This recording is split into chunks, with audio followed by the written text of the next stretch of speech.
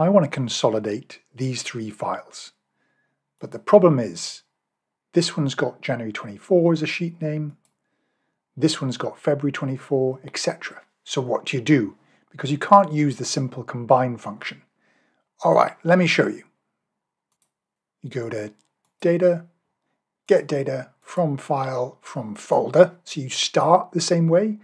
You go to your folder, navigate to it, okay, click Open,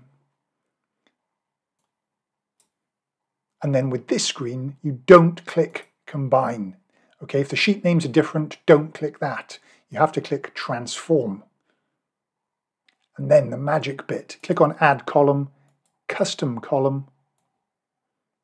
Okay, the magic formula, if you type Excel, you get the shortlist, click on Excel workbook, open the bracket, double click on content, that's simply the name of this column.